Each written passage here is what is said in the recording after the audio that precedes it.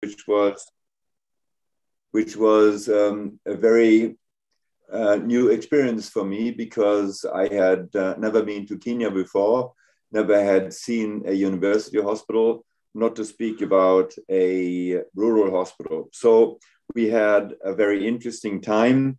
I had my ups and downs, but um, if I understood correctly from you, Dr. Nyagi, uh, all our patient uh, patients were fine, and so uh, it was the right thing what we did.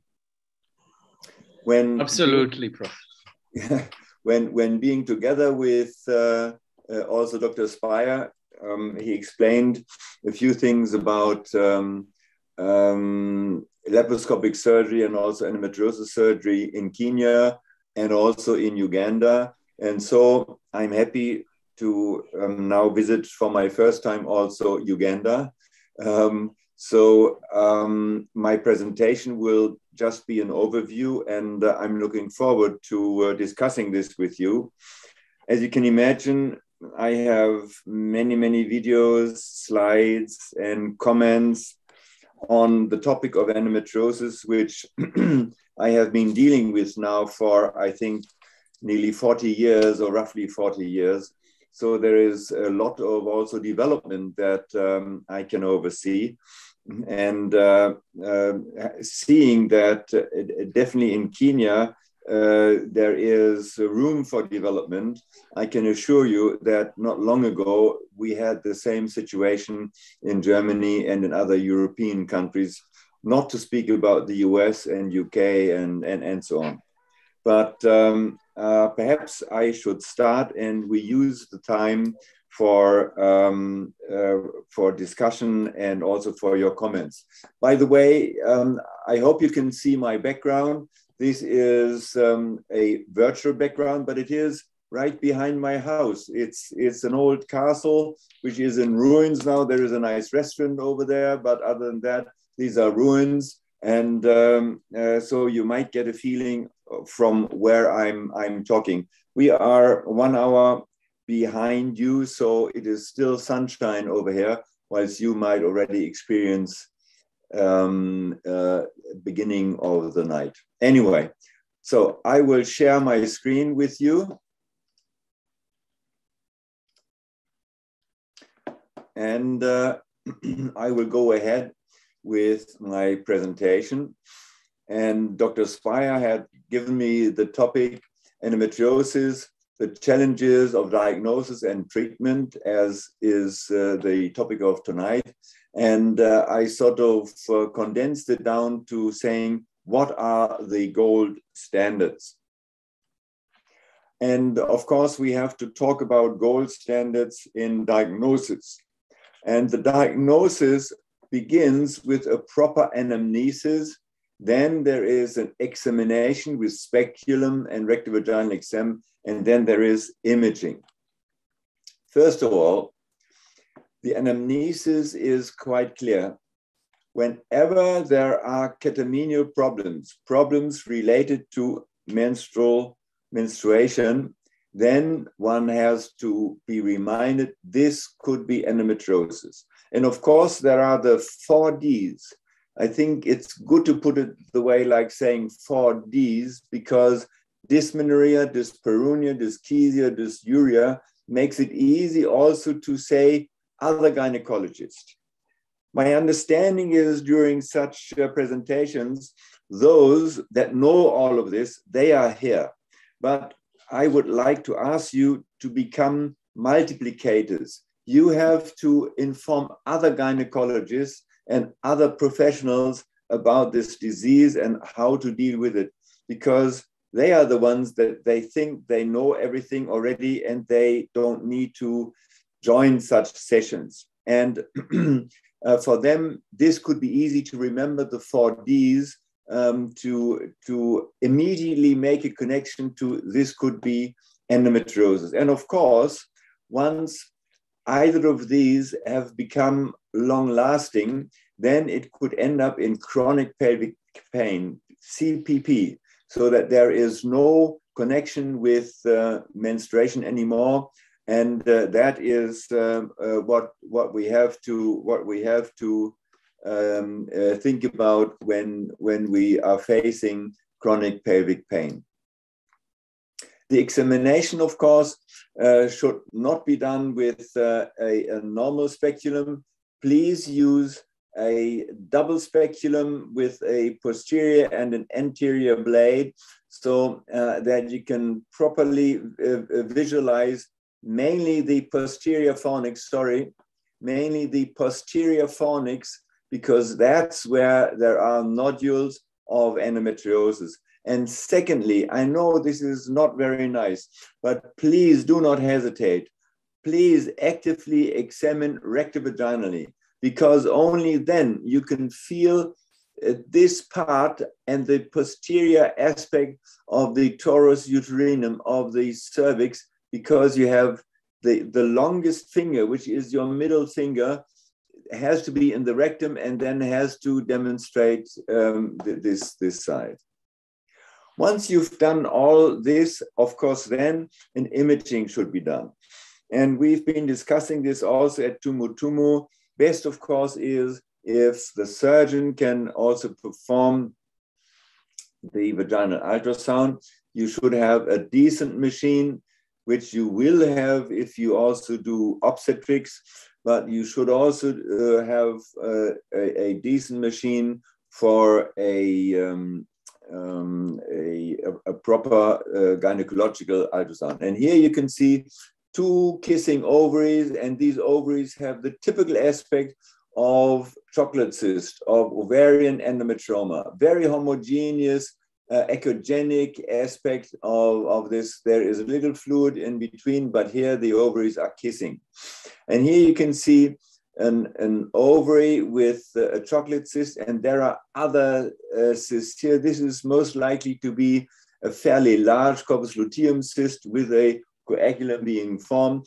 And as mentioned down here, the IOTA criteria have to be respected because in some cases, um, there might be the likelihood of overlooking a malignancy and therefore the IOTA criteria should be respected. On the right side of uh, this slide, you can see a normal looking uterus. Here is the endometrium and there is the bladder. The bladder is not ideally filled. Uh, usually when performing an ultrasound, particularly if there is dysuria, then the bladder should be half full or half empty, the way, whatever way you want to look at it. But in any case, you can see here, there is a huge lump.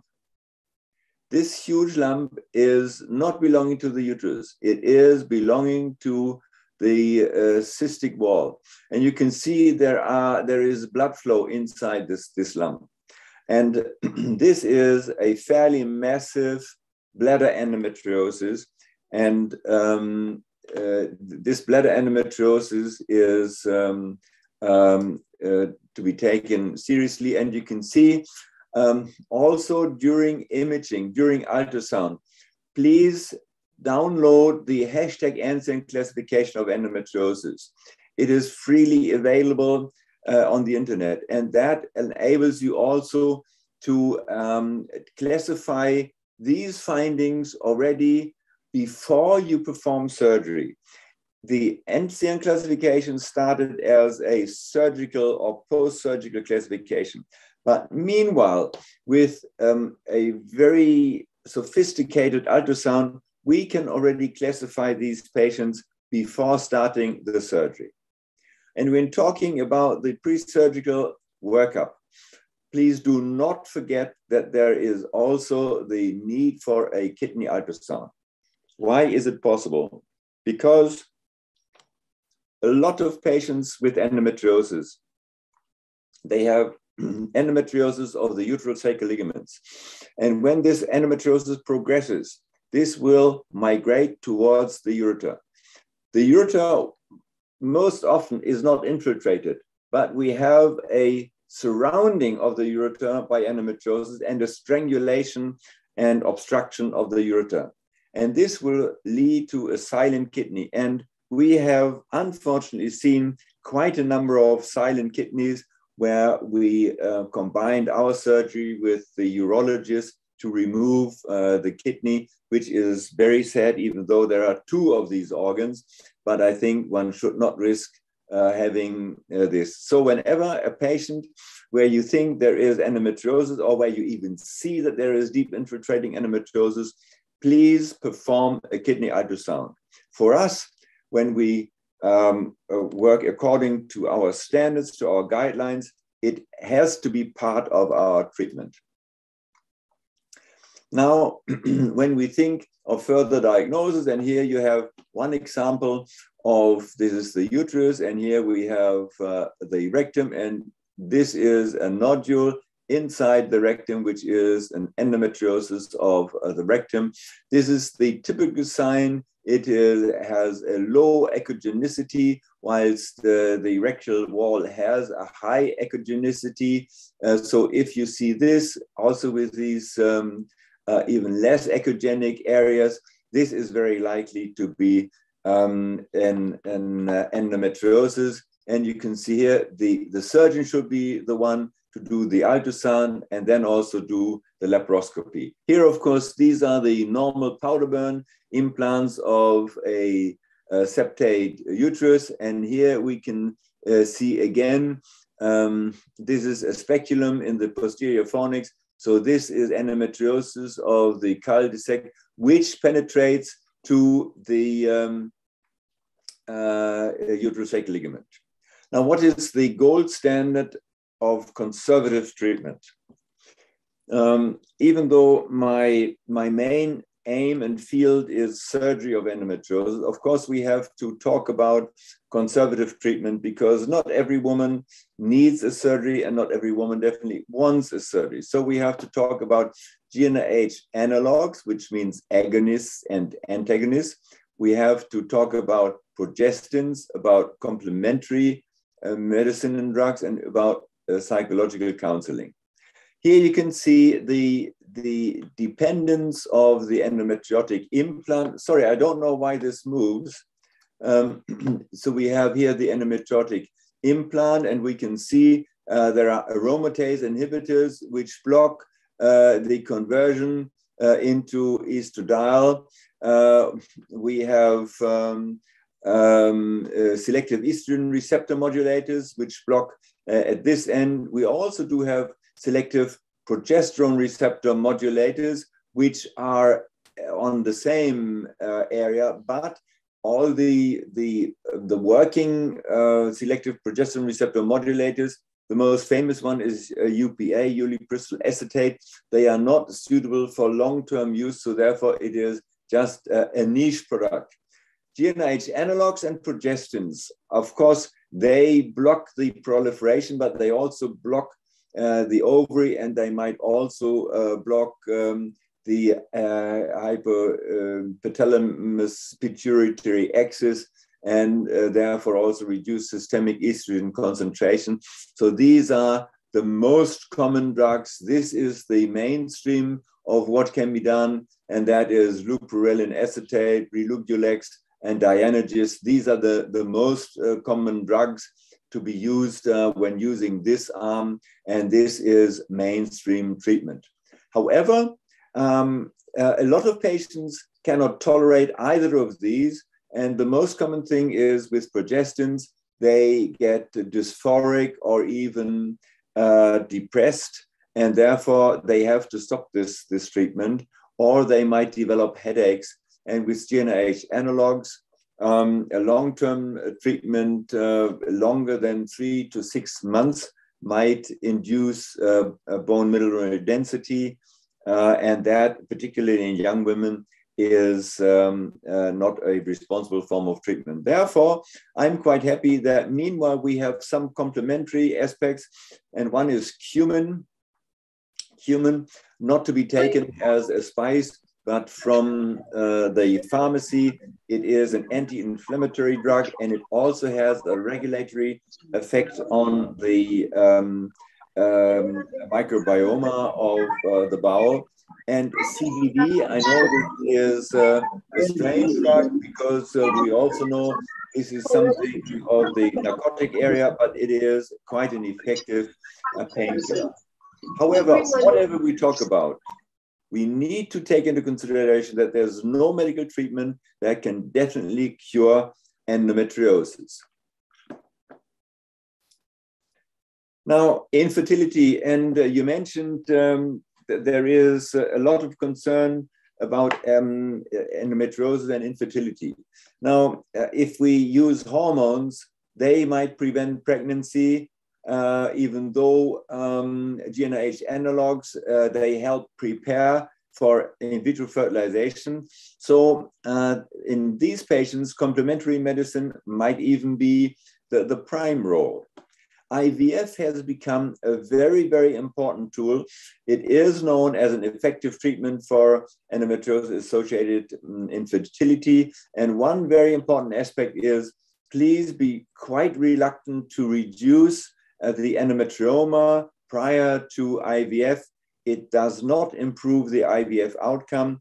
And depending on what surgeon is doing uh, the resection of uh, uh, the, uh, the uh, cyst uh, wall, it can damage the ovary. now, of course, um, when um, resecting DIE, deep infiltrating endometriosis, particularly of the bowel or of the uterine sacral ligaments, um, that seems to improve um, the outcome of uh, of um, infertility treatment. And of course, when there's pain associated with endometriosis, it needs to be uh, taken care of despite uh, positive uh, or whatever effects on IVF. Um, we, we need to take into consideration, sorry for, for jumping, um, that, um, uh, that endometriosis induces a chronic inflammation in the peritoneal cavity, and therefore this has an impact by all the, the uh, chemokines and leukokines that are being um, produced um, on the um, uh, fertilization process. Sorry. I'm not sure why all this jumping. So we, we also have to do psychological uh, counseling because we know that um, chronic pelvic pain uh, uh, quite often is associated with childhood sexual abuse and experience of violence. And unfortunately, I think we experience worldwide that there is uh, so much cruelty in the world. There are was that there, there is so much going on so that we have to take this into consideration because we, we also see that there is movement uh, of, um, of migrants uh, also in, in East Africa. So, um, you know, if you have patients that you think might be associated with uh, violence, please think about it and also think about childhood sexual abuse.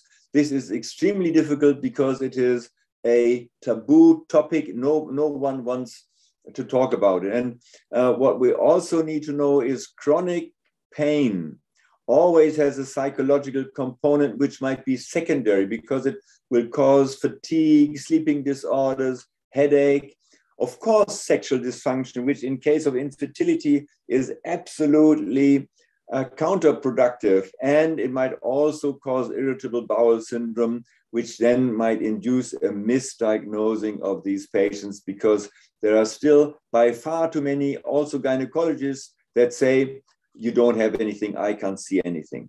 And emotionally, these patients uh, experience fear, disappointment, depression. They have a negative self concept and they tend to catastrophizing everything, and uh, which might lead, uh, uh go towards acquired helplessness. And this also means they need a psychotherapy, sometimes also accompanying uh, your treatment that, that you've done. When talking about the gold standard of surgery, of course, the most common form of endometriosis is peritoneal endometriosis. Next is ovarian endometriosis uh, as endometrioma or chocolate cyst, but then is bladder, bowel, rectovaginal space, vagina, and a class of its own is adenomyosis. here you can see a few samples of um, peritoneal endometriosis.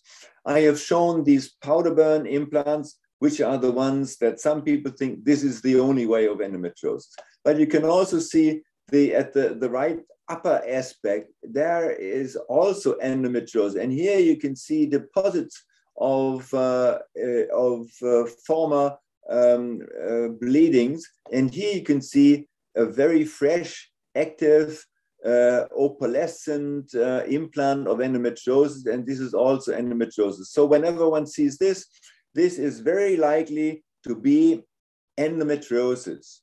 And I personally think, maybe this is my surgical thinking, excision is better than coagulation. But I might also say this because I know because of urethral obstruction following extensive coagulation of peritoneal implants. So it is always safer to excise, to expose the ureter. The ureter doesn't do us any harm, definitely not when we see it. So remove it and then, then it's fine and also check for poorly visible implants. These are the ones. So if you are in doubt, if you only see little tiny spots, perform the thermocolor test by Semm. It means that you have a bipolar forceps and you, you slightly open it and apply low current so that it is heated and you move across the peritoneal area and then you suddenly will see if there's endometriosis uh, below, that there is brown spots coming up. And of course, in some cases, if you see the entire pelvis, there are there is one implant next to the other. Please perform an extensive deperitonealization because this is what is recommended. Not take a few biopsies and then coagulate because what I have seen is not only that it leads to massive scar formation, but also there will still some survivors, like always. Also, like in cancer, you will have surviving um, uh, aspects of um, endometriosis. Okay, when ovarian surgery? As mentioned before, ovarian surgery is uh, a very crucial subject. We, we have here a very common chocolate cyst, and I'm showing this slide because you can really see the chocolate flowing out the normal looking uterus. And you can see here, this is active ovarian tissue. It was uh, in, size and now the, the fruit uh, moves out and it is easy to remove uh, this part, but there's always one area of a chocolate cyst where it is stuck because where there is scar formation because the chocolate cyst is not a cyst, it is a pseudocyst. It has been formed by invagination of an implant on the outer aspect of um, the ovary, and then it was invaginated. And uh, the endometriosis implant was stuck on the surface of the ovary because, due to ovulation, there are these little crevices, and that's where it is easy for endometriotic uh, tissue to implant. So, if we want to make a decision when to perform ovarian surgery, yes is age below 35 years, no previous surgery, good ovarian reserve, which can easily be monitored by an uh, anti-Müllerian hormone, if this is a patient with secondary in infertility, and if it is a unilateral endometrioma. Of course, you can see uh, the, the uh, other side is if the patient is over 35 years, if she had previous ovarian surgery, and if she has already a poor ovarian reserve, we do not want to expose her to an additional surgery because we know, and this has been very clearly proven, that every surgery at the uh, chocolate cyst reduces the ovarian reserve. Therefore, also, if it is a primary infertile patient, which is over 35 years, we have to be extremely careful. And of course, also if they're bilateral endometrioma, because we would have to do it at both ovaries, then it's getting too risky and we should perform uh, uh, something else, but not ovarian surgery. So what should we do when no ovarian surgery is recommended, like according to this list that, that we just saw? Um, of course, first of all, we should remove all other endometriosis implants, and we have to aspirate the endometrioma fluid so that we empty this. And um, we, we should keep the cyst wall intact. Perhaps what we can do is we open uh, the, the anterior side of the cyst and we perform plasma coagulation of the cyst wall because we know that the depth penetration of the, the plasma beam is less than a millimeter. So therefore, we keep the ovarian tissue intact. The other alternative would be alcohol instillation. So we aspirate uh, the, uh, the, the endometriotic uh, fluid. We can flush um, the, um, the ovarian cyst. And once there's no more endometriotic uh, fluid coming out and the cyst had been emptied, alcohol is being instilled and we leave it for five to 10 minutes. And then uh, we know that uh, this had been damaged uh, to the, the cyst wall, but not to the ovary. And of course, when we have um, an endometriosis patients, we need to make sure that the ovary is well placed in uh, the, the pouch of Douglas for good follicular aspiration in case IVF is the option of choice. Now, the next point is bladder endometriosis. And here you can see a nice case um, of endometriosis. This is the uterus, and you can see there is a superficial implant. These are the, the small aspects. There is a small implant, there is an implant.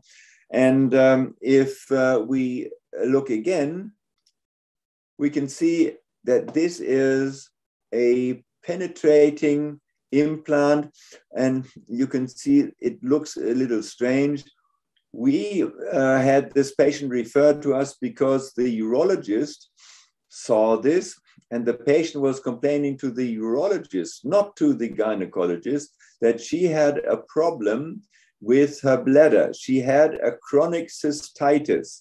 It was not a chronic cystitis, it was a bladder endometriosis and uh, when he performed a cystoscopy, he found that there was a strange tumor. He removed um, a piece of this tumor and coagulated. And this why it looks so, so blackish. And then he was uh, very surprised to find that this was endometriosis. If the anamnesis of this urologist would have been much better, then he would have found out that her um, her uh, cystitis was always during her menstruation. So it was a catamenial cystitis, which is always very likely to be an endometriosis. Now, there is the vaginal aspect of um, DIE, and you can see here there is there are nodules at the posterior fornix and also here. And this is like the tip of the iceberg, what we see here. And therefore, what has to be done, we have to go ahead and we have to inject, we, we place a thread through there and we inject saline around this. And uh, you can then see what happens. We circumcise this tumor, and this tumor is not small, as you can see. And you will also see when once the speculum is, there is the rectum coming up already. So uh, we excise this tumor from the vagina to mobilize it. And once this is mobilized, we also have the, uh, the incision line uh, close to the cervix, which um, guides us once we perform the dissection from above laparoscopically. Once we've done this, then we have the bowel um, in a flexible and movable position, and then we can decide what way uh, of treatment is uh, done next sorry. Here is one way, and this is just a schematic drawing here. You can see the sphincter. This is a circular stapler, and uh, I used uh, this industry graph by interponing uh, this, this is, as you can see, this is the bowel wall. This is the endometriosis, and the endometriosis has a thread through there.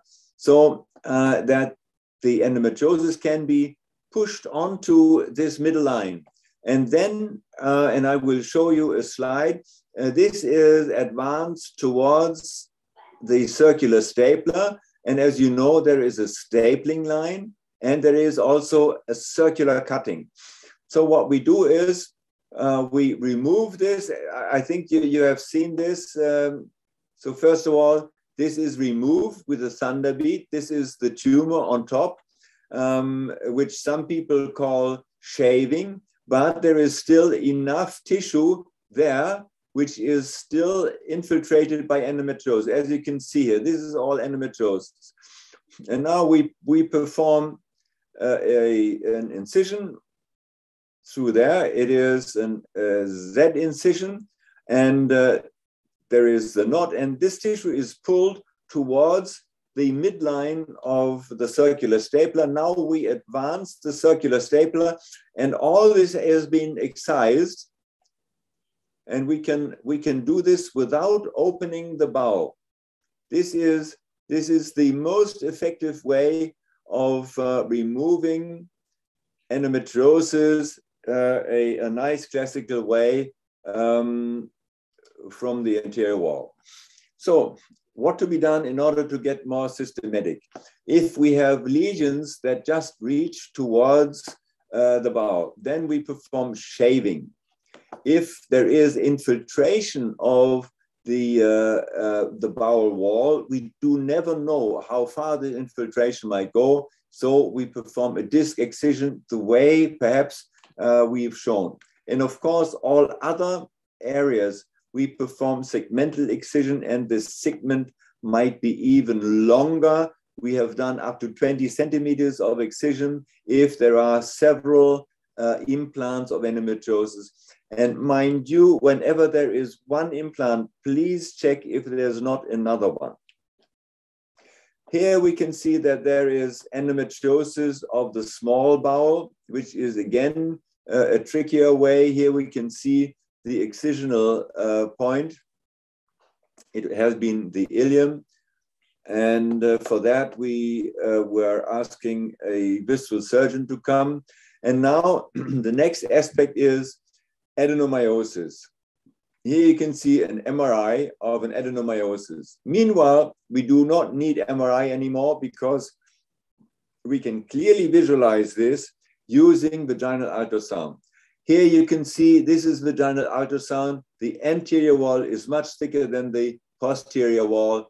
And uh, you can see this, this ray sign like sun rays. If you can see this, this is clearly a symptom of, of adenomyosis. And uh, what we have seen is that um, a lot of patients with such a finding um, get the um, advice by the gynecologist okay, we have to remove your uterus. And this, I think, with women that, that want to have children and that are desperate to have children, is unfair. So, my, my plea is allow these patients to have a chance to maintain their uterus and have children. And I will show you how to do this. Um, of course, there are different treatment options. Um, one is um, that uh, we, we can apply GnRH agonists, uh, which will reduce this. But as I said, no medical treatment can cure this. And we know the longer the, the, the GnRH agonist downregulation has been, uh, the more uh, successful is an IVF treatment. Of course, there are also um, um, surgical treatments from. We can excise the adenomyotic tissue, and we know that the clinical pregnancy rate is higher, even uh, talking about spontaneous pregnancy um, when, when it comes to uh, post surgical events. And this is the way to do it. Um, it has been um, described by Osada. You can see here a classical um, picture of an adenomyosis. And this is how he has done it. It is a longitudinal incision of the uterus. You put one finger into uh, the um, uh, the uh, um, uh, uterine cavity, and then you excise this um, with um, either with an ultrasound or I use a bipolar. And then uh, he has a three flap uh, technique. Um, we modified this according to my previous teacher, and you can see we have more than three flaps. Uh, this is one flap, this is one flap, this is one flap, and this is another flap. And it is that we take care to reduce uh, the volume inside because you have uh, like a flower of the uterus because the um, the cavity is open the cavity will be uh, closed but then uh, i might even incise this in order to have small flaps that are covered on top and that there is no uh, no cavity inside. And finally what i do is i use suture through here which compresses everything so that there is no hematoma formation even possible uh, to do. But I must say, this is um, this is one um, slide. There is a tourniquet applied, so there is no bleeding, and um, this is from Flushing, and um, um, it is a mini laparotomy. So this is not a um, laparoscopic approach. What I would very much like to highlight is the gold standard of classification, meanwhile, is the Enzian classification because it covers the peritoneum, the ovary, the tube, and definitely the deep infiltrating endometriosis, which the American Fertility Society uh, classification does not cover. And you can see here, please download from uh, this um, link the hashtag Enzian classification, or you just type in hashtag Enzian and you will get uh, this classification. Now, last not least, my conclusion the gold standard for endometriosis treatment is infertility, benefit of radical removal, unless compromise is indicated. And that is definitely uh, applicable to ovarian surgery. Uh, think of IVF. IVF is um, a very, very good option for infertile patients. Medical treatment uh, can be used when effective and when there are no side effects to be taken into consideration, particularly with progestins. Think about headaches, migraine, and um, depression. I can only advocate to uh, also include into your armamentarium complementary medicine. Uh, this might also be regarded as holistic medicine, but is, it is less harmful than a lot of the medical treatments. And in many cases, it is, it is just as good or even better than uh, the, the classical uh, medical treatment form. Surgical surgery should be performed as radical as possible. And uh, it is not the more surgeries, the better. The first surgery should be the last surgery. At least this should be our aim. We know that there is a recurrence, but if the first surgery is not really trying to completely remove all the endometriosis, then we know that she will have to come again. There is um, no proven prophylaxis, and uh, we, at least in my country, perform uh, a rehabilitation after every uh, DIE surgery. And uh, what we have to know is, and this is why it takes quite some time for consultation of these patients, there is no one fits all treatment. So this is this is the final plea. Now, uh, with um, uh, Dr. Yamal Patel, we have discussed um, what is uh, the, the, problem with um, endometriosis centers, and uh, I just give you an idea of the structural requirements. Um, we have um, we have some some structural requirements. Sorry for this jumping um, uh, the, uh, the treatment should be according to guidelines. Um, surgical treatment has to be well done. Um, there has to be an interdisciplinary uh, group which discusses cases. There should be an abdominal surgeon and uh, maybe also radiologist.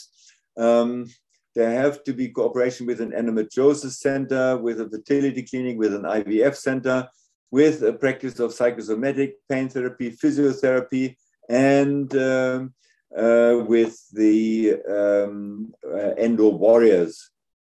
Personal requirements, um, the head has to be a specialist in gynecology, has to be a designated endometriosis uh, surgeon, a surgeon with um, an endometriosis um, diploma, certificate of qualification course, and uh, perhaps also a masterclass of endometriosis and um, a certificate of continuing education for designated surgeons. And last but not least, um, um, at least 100 patients should be treated in this center um, and uh, 50, sorry, 50 patients that uh, underwent uh, surgery and uh, um, it has to be a designated endometriosis surgeon with at least 30 operated or responsible assisted cases.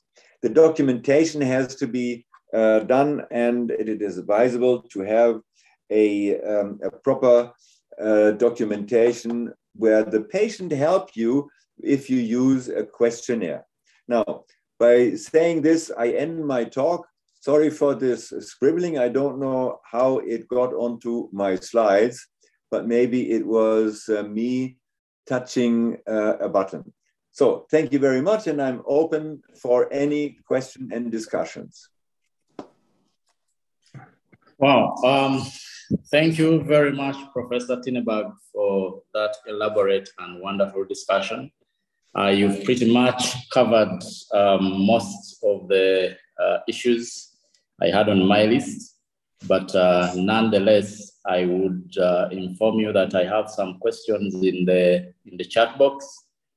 Uh, to the audience, I request you either put your questions in the chat box, or you um, you can raise your hand, or you're free to unmute and ask your question. Uh, Prof, allow me to ask these questions in the chat box. May I please?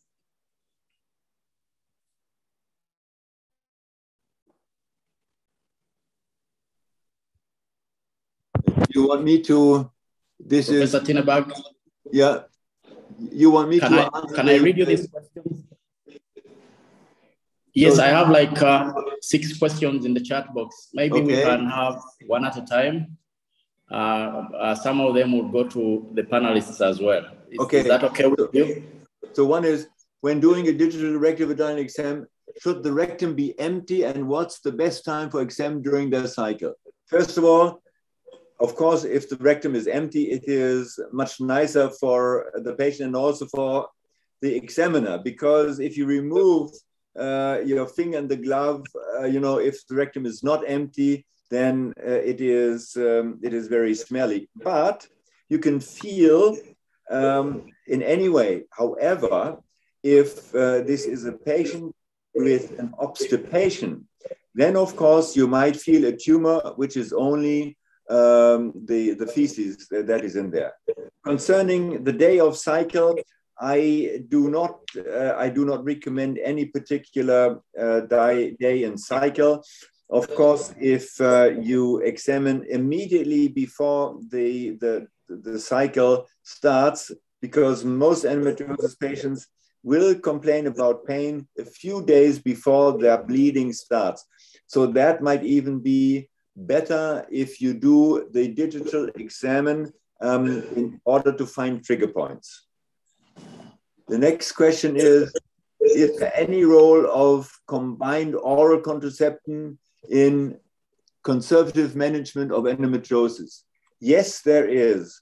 Um, uh, if when we have combined uh, oral contraception, the benefit of this is that there is no bleeding so we stop bleeding, and uh, we think that uh, in 95 uh, percent of uh, endometriosis patients, retrograde menstruation will be the reason for their endometriosis. And therefore, these women benefit if their menstruation is stopped. However, if um, they can tolerate, um, of course, it would even be better to have just a gestagen or progestin only pill.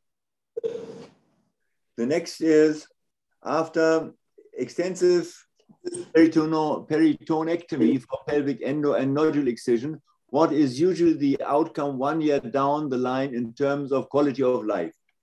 Um, I must say, the quality of life of these patients, depending on the, the way that you have performed your surgery, you have to be very clean and meticulous. But if you do it uh, that way, then already, let's say, four weeks after surgery, the patient will report to you that she is very happy and very relieved from, from this pain. However, you had to be radical in removing all implants. Otherwise, this will continue. Next question is, is there a relationship between endo and gastritis? No, there is not. But I have also seen gastric endometriosis. So endometriosis can be everywhere. And um, with a gastritis, which is the inflammation of the, the gastric mucosa, perhaps there is some, some other aspect um, uh, which needs to be taken into consideration. But on the other hand, it can also be that there is endometriosis. Um, the next is very informative webinar. Thanks, Dr. Spire. Congratulations. And the Association of Laparoscopic Surgery of Ghana. For, okay, that was Dr. Mecha. Thank you very much. So, um, would you recommend single agent therapy or combination therapy for those who are counseled for medical management?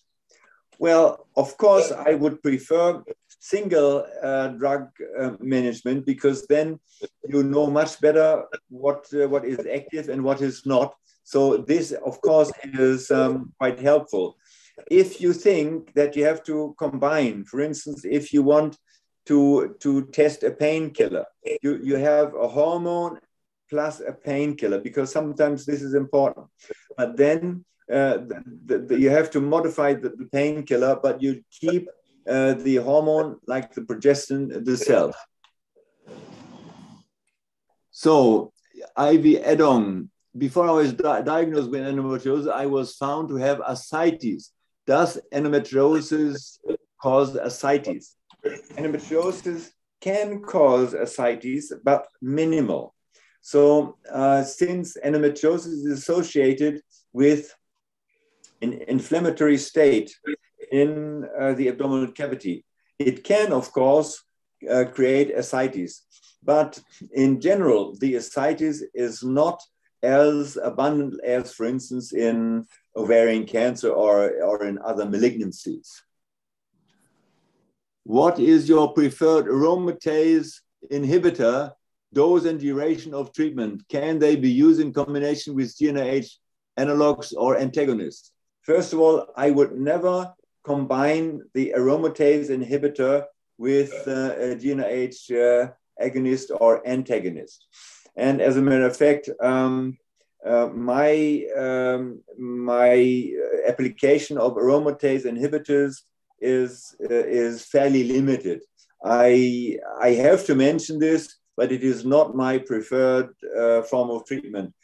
Uh, not when it comes to combined treatment with um, infertility patients, nor when it comes to uh, um, uh, treatment of just endometriosis patients.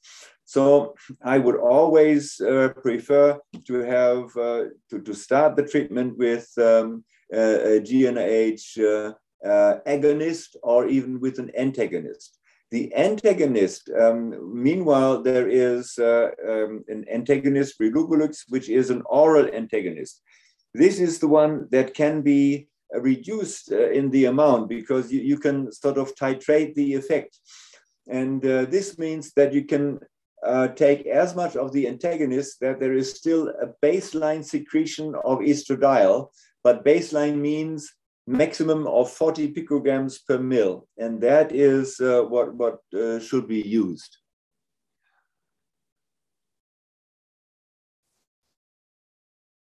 First question is Osada technique, why was it performed in open surgery? Well, answer your first question.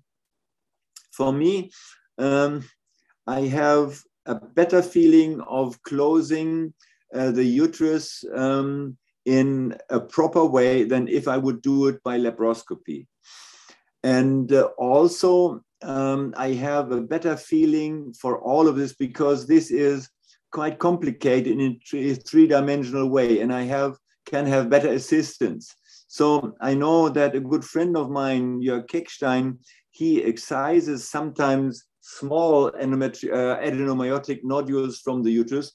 But with these large endometrioma, I always recommend patients a mini laparotomy. So mini laparotomy means um, maximum of 10 centimeters, and um, the uterus is being pulled up so that it is uh, in front of the abdominal wall, and then you can uh, place uh, the uh, uh, the um, closure of the, the, blood vessels um, and the uh, you have a bloodless uh, treatment and uh, you, you can take it in your fingers and you can have assistance helping you. And the, the, second question is the cumin seeds can be taken or has it to be in a drug from the pharmacy?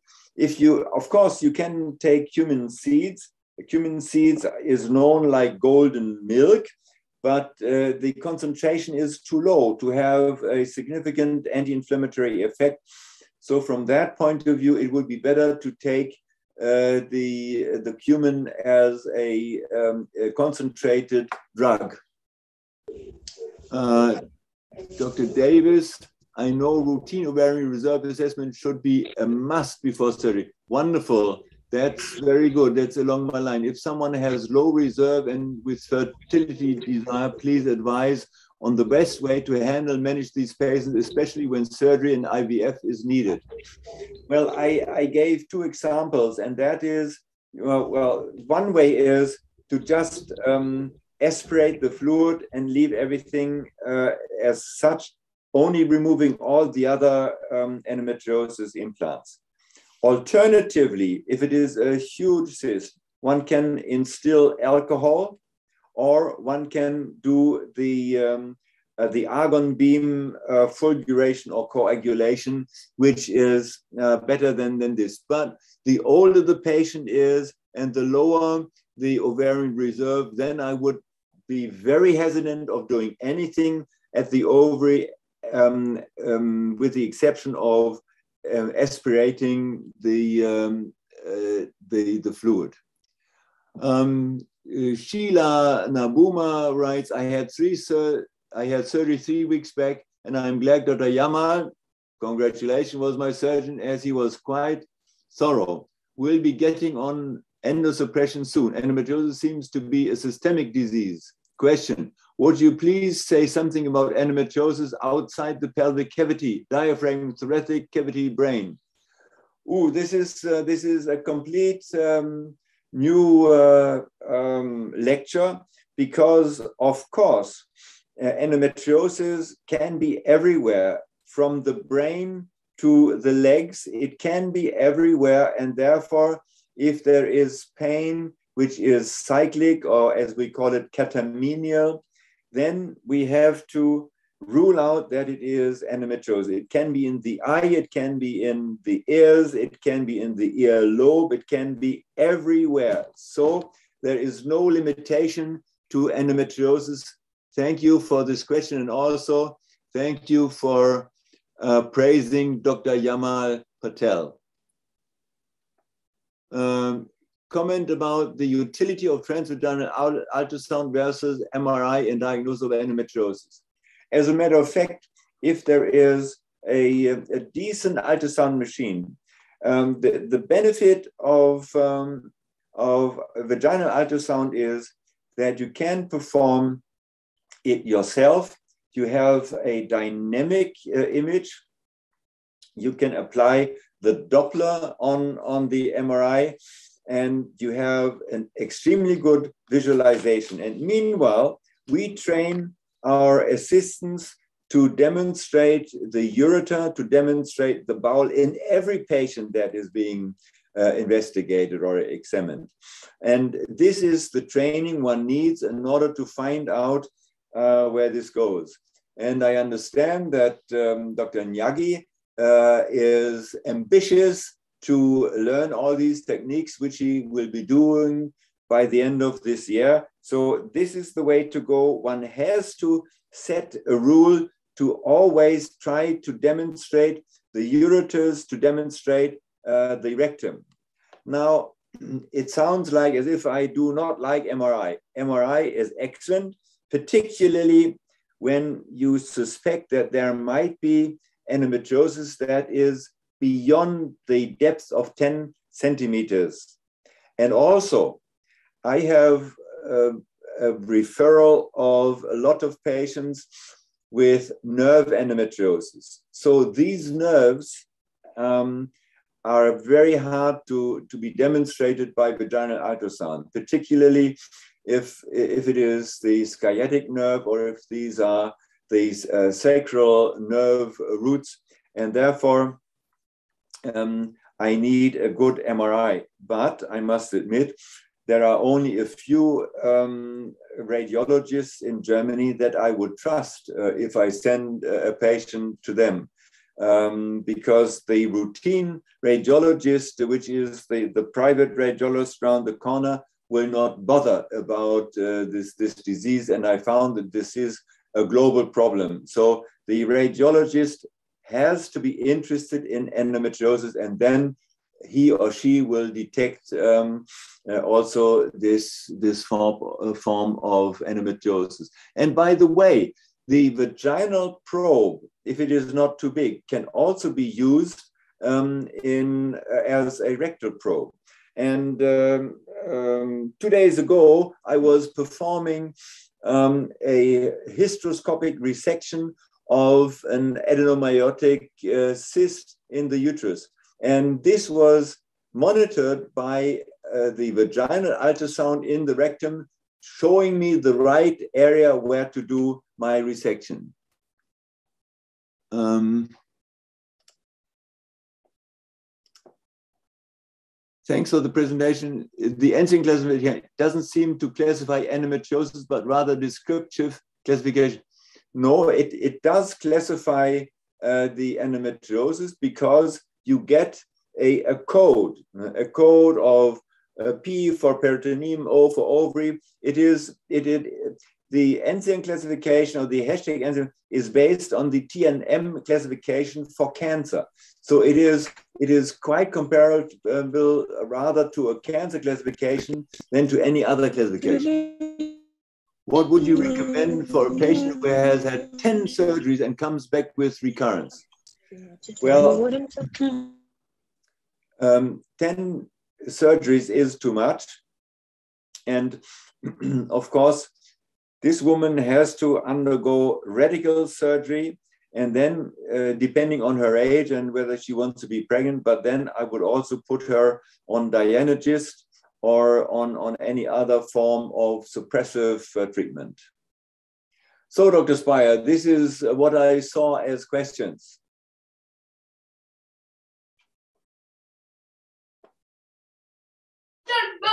Dr. Spire, you're muted. Oh, sorry, yeah. Thanks, Prof, for answering those questions. Quite, quite elaborate. I want to ask the audience if you have any questions, any more questions, please, you can unmute or place them in the chat. And uh, meanwhile, to my panelists, I have a few more questions for you out of the chat. I think uh, this will go to Dr. Yamal. Uh, Dr. Yamal, um, I've had uh, um, um, some very good comments about you and your surgery. Um, why would some women have persistence of pain after surgery? Uh, you can answer that and also give us a few of, of your comments from the previous uh, discussion, please. Uh, Thank you very much, Dr. Kiggundu, and uh, thank you, Prof. Uh. That was an excellent summary of every gold standard practice that should be used for managing uh, endometriosis in a nutshell. Uh, obviously, as we were discussing, I had also been jotting down a few things that we wanted to discuss among the panelists and with Prof and with you. So, time permitting, we'll go into that. But to answer your question at the moment, uh, why would we be dealing with, I mean, persistence of pain? So there, there are two, three things. Uh, number one, it could be because of an incomplete surgery. So an incomplete surgery, especially as you've heard Prof saying about trigger points, and many of them are specifically in areas near the the uterosacral uh, ligaments. It could be near in the posterior compartment. Uh, it could be near the anterior part where there is the bladder involvement. So if you do not uh, excise all the tissue and the lesions in toto, uh, then you will definitely be left with the persistence of pain.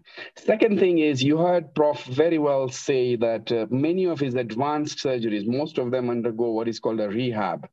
And a rehab is sometimes necessary because some of this pain is obviously uh, including functional.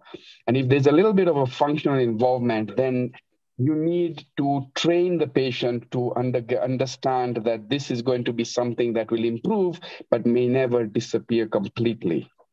Finally, uh, you heard him specifically mention nerve involvement. Now, uh, one of the most difficult endometriosis is in the neuropelveology area. So if there is a nerve involvement with uh, compression due to the nerves, I mean, by some endometriotic lesion, uh, it is going to be a very difficult task uh, to remove that next to the nerve without possibly injuring the nerve. So these are some of the reasons why persistence of pain may be seen in patients uh, who have had surgery.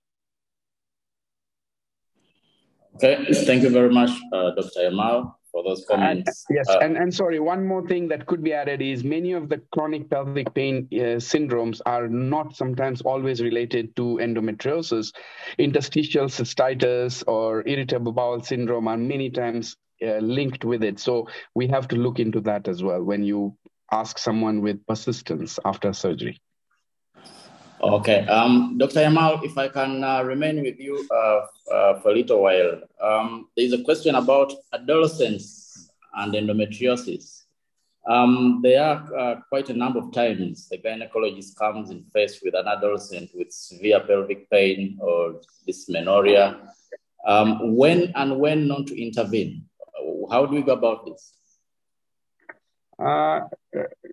Thank you very much for the question. When not to intervene and when to intervene, I think is uh, is is not a statement that should be clear intervention is required at all at all stages. Let's not uh, assume any pelvic pain of a severe nature in a, in a in an adolescent as normal. So that normalizing of pain is is a problem. It's a crime because that makes them go into severe disease later.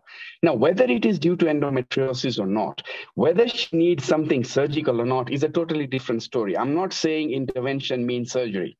But I'm saying that intervention necessarily needed. Uh, sometimes uh, it could be primary dysmenorrhea, and many many young adults and girls respond superb to uh, combined contraceptive pills, for example. And if it disappears and there are no obvious abnormalities in an ultrasound that was done, then definitely it is something that can be continued. However, if you get somebody with severe dysmenorrhea and you also get some lesions noted in the pelvis, then start thinking of possibilities of some Mullerian anomalies that could be blocking and then causing uh, let's say secondary endometriosis. Think of a non-communicating horn with an endometrioma or a, or a, collection inside.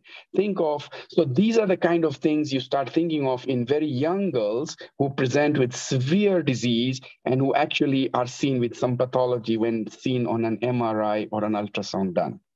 So intervention, definite, uh, but what kind, whether it's medical, whether it's counseling, whether it is eventually going to be surgical, should be important. Secondly, such people may need early referrals to centers that handle endometriosis and pain early so that they don't go into very severe disease before a diagnosis is made. So that's very important. Thank you very much for that. Prof, um, do you want to add anything on that, please? We, yes, I'm, I'm very glad that Dr. Yamal mentioned all of this. Uh, it means also that uh, we as doctors sometimes have to act like detectives. if um, if um, a woman or if a young woman or a girl is reporting about cyclical pain, uh, we should not, if we do not see something at first uh, presentation, we should not say, I don't see anything, so you don't have anything. We, we need to um, investigate this any further and um, I, I, was quite happy to also to hear Dr. Yamal mention about uh, a unilateral um, obliterated horn. Uh, I have seen all of this uh, also during our surgery at Tumutumu, and I've also seen a septate vagina with a uterus duplex where, where the one part of the vagina was blocked and she always had problems and pain and swelling in there. and I've also seen that also following delivery, uh, patients uh, were complaining about cyclical pain in the episiotomy uh, scar. And the doctor said, no, no, no, everything is fine. It's not fine. There was endometriosis in the episiotomy scar, as well as we know um, endometriosis in the cesarean section scar. And as we know, following a cesarean section, there is also endometriosis of the brain or of the lung or, or wherever. So whenever there's something catamenial, whenever there's something linked to menstruation, then we, we have to follow this up. And as, as Dr. Yamal said, doesn't necessarily mean that surgery is being performed. But first of all, we are the advocates of women with this uh, disease and with this complaint. And we have to make sure that they get the proper diagnosis because that then finally triggers uh, the treatment. Thank you very much. Um, some more questions popping up in the chat box. Um, can I put them across? Uh, someone uh, asks, does pregnancy heal endometriosis in some women?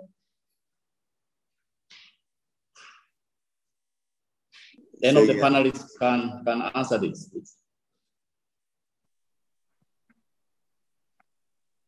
Yeah, does uh, pregnancy... Thank you. Thank you, Dr. Spire. I think I'll take that question. Uh, does pregnancy heal endometriosis? No, but uh, pregnancy suppresses the symptoms of endometriosis.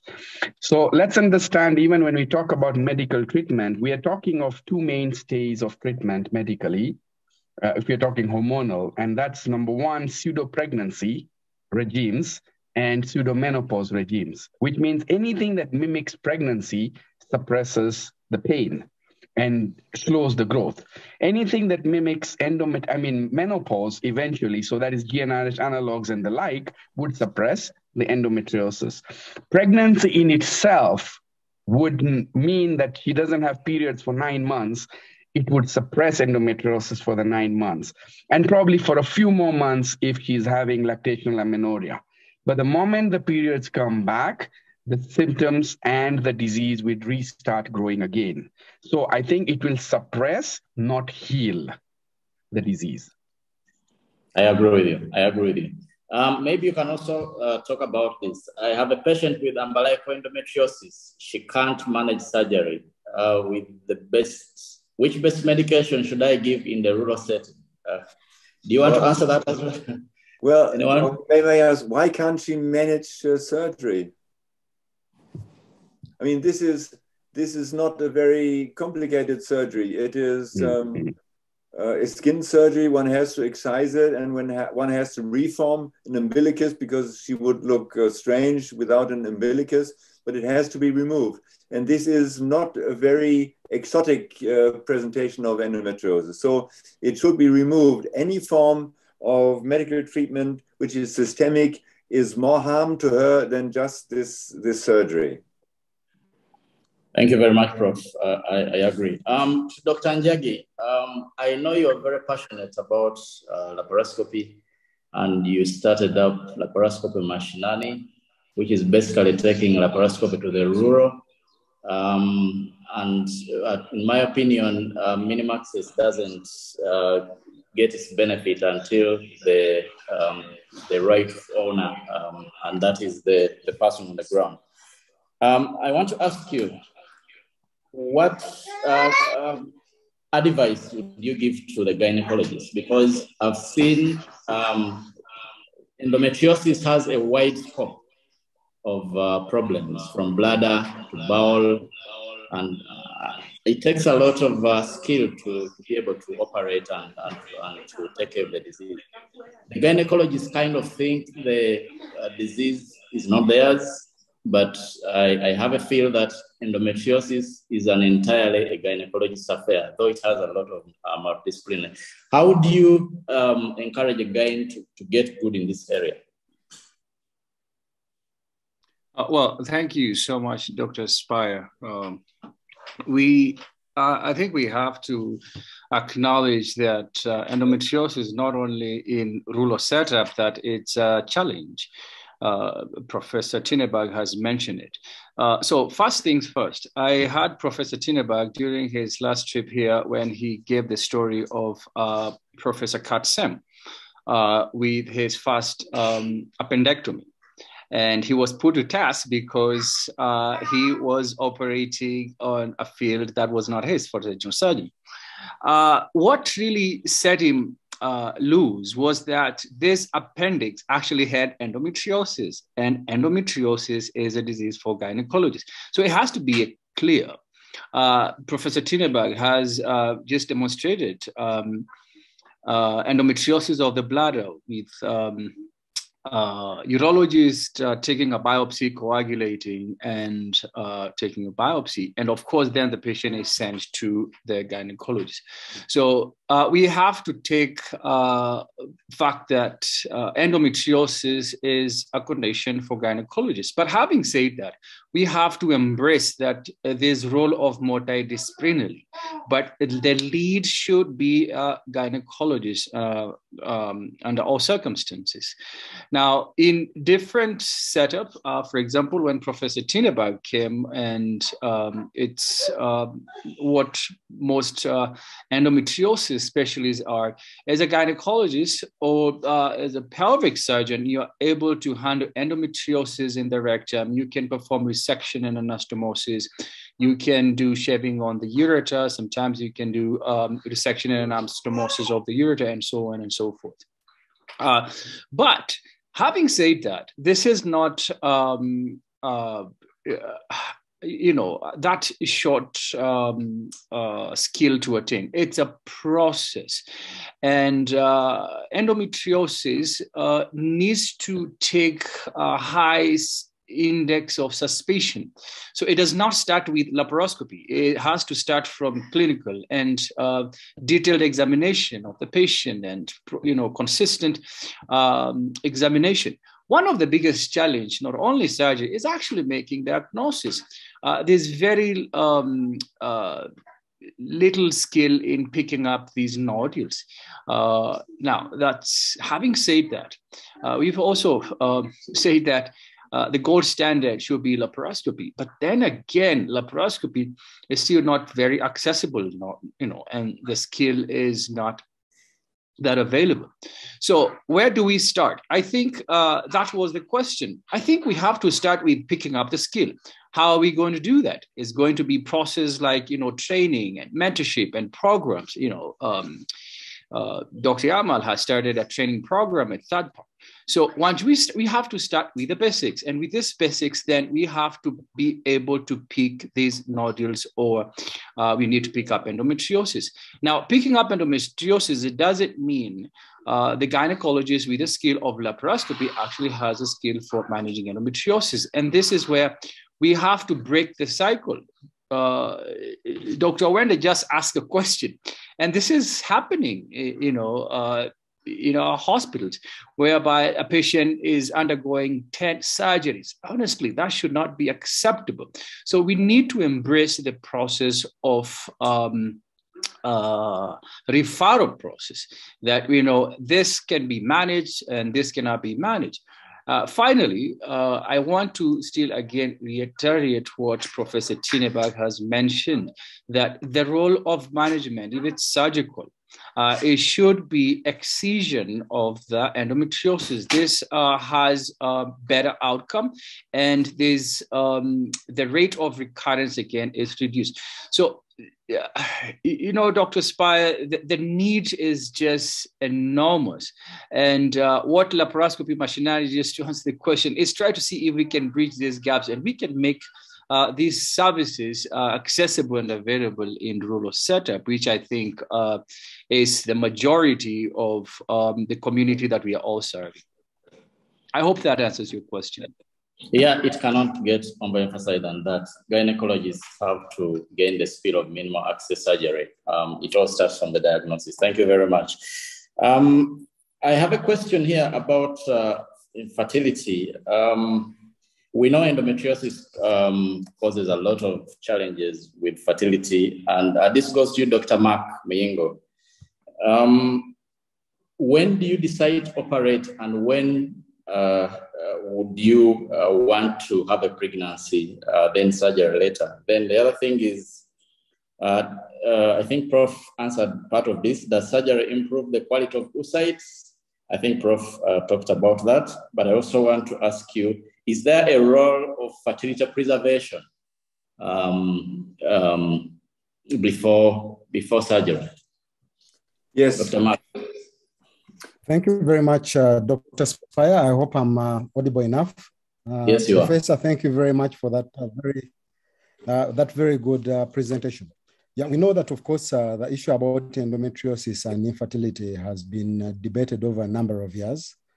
And uh, there was a slide that professor showed that was very, very important about when you decide to do surgery and when not to do surgery. Of course, uh, when you have a low ovarian reserve, a person is above 35 years, and um, you know uh, someone has had uh, probably previous surgery, you you might be a little bit hesitant uh, with uh, starting with surgery. One of the things that we usually do is that sometimes you can segment your cycle most of the patients, especially who have um, moderate to severe disease, might uh, uh, might benefit a lot uh, from uh, surgery eventually. But at the beginning, uh, probably it's better uh, that you do um, your oocyte retrieval, probably fertilize and freeze. Then the person can go for surgery. And then after that, you can then decide to do a frozen embryo transfer after you've done some bit of downregulation with uh, GnRH analogs, uh, that would improve the outcomes. As we know very well is that uh, fecundity decreases markedly uh, with infertility. Uh, uh, you know, in the normal population, fecundity might be about 0.15 to 0.2 per, per month. But in, in endometriosis, it's about 0.1, between 0.02 and 0.1. So that means that when you add surgery, like Professor said, you will markedly reduce uh, on the ovarian reserve. Uh, and then, of course, that will have an impact. If you decide to do surgery first, uh, probably you might be doing that to help with uh, access to the, the ovary uh, when you're doing uh, follicular, when you're doing follicular pickup, when you're doing oocyte pickup. But otherwise, Professor rightly said, uh, very easily, uh, very well that um, there's sometimes when you can't do surgery. It's very, very important that uh, fertility, uh, especially the AMH, is done before you opt for surgery. And then, of course, uh, when the surgery has been done, we probably need to have a look at it again. The second thing that you asked was about um, fertility preservation. Yes, fertility preservation plays a very important role. If, uh, for example, the patient decides that they need to do surgery uh, for any of the other things that they might not be interested at all in having children in the moment, but probably will give it a thought later. Yes, then fertility preservation plays an important role. It can be done in a number of ways. You can decide to um, uh, to uh, do uh, oocyte uh, you you you oocyte uh, retrieval and uh, keep them. You can decide to take part of the ovary and um, and and store it or preserve it, cryopreserve it until the time when they want to use uh, those follicles or the, rather the, the, the, the oocytes. But uh, fertility preservation definitely has a role. If uh, the person's um, uh, problem majorly is chronic pelvic pain and they're not yet ready to have children, they're not probably even thinking about it, maybe you'll give it a thought later then they will definitely um, have a very good. Um, okay, Dr. Mark, are you done with that, that submission? Yes, I think I'm done for now. Okay, um, thank you very much, uh, Dr. Mark, for that. Uh, Prof, do you want to add on uh, the issue of fertility um, and endometriosis, especially the issue, the issue of preservation. Is there anything you want to comment about it, please? Well, with pleasure. I can fully support all that my that the previous speaker, Dr. Mark, had mentioned, uh, and I might give an example that I just recently had in our surgery, and that is it was a woman aged, uh, I think, 39, and uh, she was diagnosed with quite extensive adenomyosis. And uh, um, since we had very good experience with um, fertility improvement by, after removal of adenomyosis, uh, the uh, modified OSADA technique that I demonstrated, um, I asked the fertility center to um, uh, perform uh, oocyte pickup and uh, preserve the oocytes before we perform the adenomyosis surgery because that would need some healing. Yeah, uh, in general, um, my, my, advice is if the, the surgery has been, this extensive surgery of the uterus has been performed, it is not necessary to wait for more. Some people say you have to wait for two years. Um, the minimum time I want these uh, women not to become pregnant is three months. Because in this time, the scar formation will, will be done, everything will be clear, and everything will be fine and then uh, she doesn't start with the pregnancy of let's say uh, mens uh, uh, five or six but she will start with mens one and two. And uh, this is a slowly developing process with a lot of growth factors being produced so this is fine. But nevertheless it is it is a pause that she is forced to have. And uh, for that i think um, fertility preservation is very helpful Okay, thank you very much for, for that. Uh, sticking with uh, uh, adenomyosis a little longer, um, what is your um, experience with the outcomes of women with adenomyosis um, when they get pregnant? Would you advise them to have surgery first? Are there those you would want to get pregnant? Uh, Dr. Mark as well can give us uh, his experience on this adenomyosis and pregnancy. Well, Dr. Mark, go ahead. Okay, well, I can go ahead. Uh, well, adenomyosis, um, as the professor uh, outlined very clearly, is uh, one of those diseases that gives us a number of uh, challenges uh, when people are trying to conceive uh, because of the bulkiness of the uterus and the altered hormonal as well as um, peritoneal function, cell-mediated factors that come in, which give us a, a, little bit of a problem. When you've decided, there are two scenarios if you have decided not to do surgery and someone wants to conceive, uh, down regulation for about two to three months would give them a better chance of conception um, uh, before uh, before they, they do conceive, because that will help definitely with the reduction in the, in the disease process. But also, if you've decided to do surgery, uh, as, doctor, as a professor said, you've done an OSADA procedure, You've given them about three months of, um, of uh, healing, and then they conceive. If they conceive naturally, uh, that would be very good. But if you have decided to do, uh, for example, uh, IVF, you would definitely have to do the down regulation. And then, uh, of course, the surgery has been, and then probably you might add on a little bit of down regulation, two to three months, and then you can do your uh, frozen embryo transfer which would uh, improve markedly their chances of uh, live birth rate uh, after, after that. Uh, Dr. Mark, are there uh, um, cases where you would consider surrogates um, with adenomyosis and to what extent would you, uh, which sort of women would you advise to have a surrogate if, if surgery can't be done? Or, I mean, Prof can as well add on this. Well, uh, maybe I can start still. Uh, Professor, um, uh, well, uh, the thing is that it will depend on a number of uh, factors. Um, the, the patient might not be, one, fit for surgery for various reasons. They've had numerous surgeries. Uh, somewhere in the chat box, I saw someone had asked about someone who has had over 10 surgeries for endometriosis.